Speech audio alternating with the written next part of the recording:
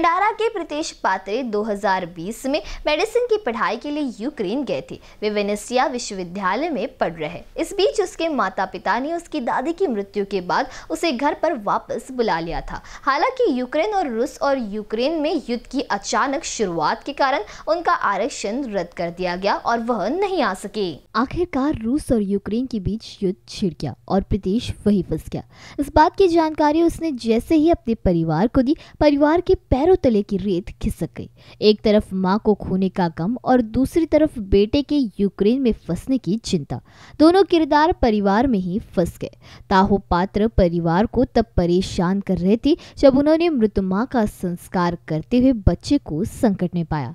हम चार दिनों से बंकर में है। हमारे पास खाना या पानी नहीं है, उन्होंने कहा। एक तरफ़ बच्चे का फ़ोन बंद होने और दूसरी तरफ़ मृत माँ के अंतिम संस्कार से परिवार मुश्किल दौर से गुजर रहा था।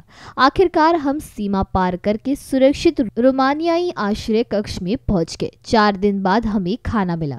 आखिरकार प्रदेश के हालिया वीडियो कॉल ने पत्रे परिवार को जीवंत कर दिया है और वे जल्द ही अपने प्रियजनों से मिलकर खुश है।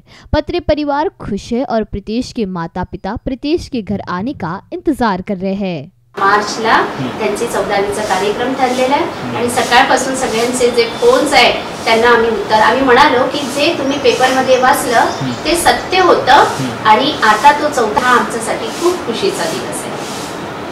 चार दिवस ते त्यांना काहीच खायला काहीच खायला नाही मिळालं आणि ते पहाटे जेव्हा ते पोचले ना तेव्हा ते जेवले. पोटभर जेवलं म्हणे आम्ही. आणि आता निवांत झोपले. त्याच्यानंतर आम्ही व्हिडिओ कॉल वगैरे काही असं नाही कारण चार्जिंग नाही आहे ना. पुढे चालवावं लागेल ना?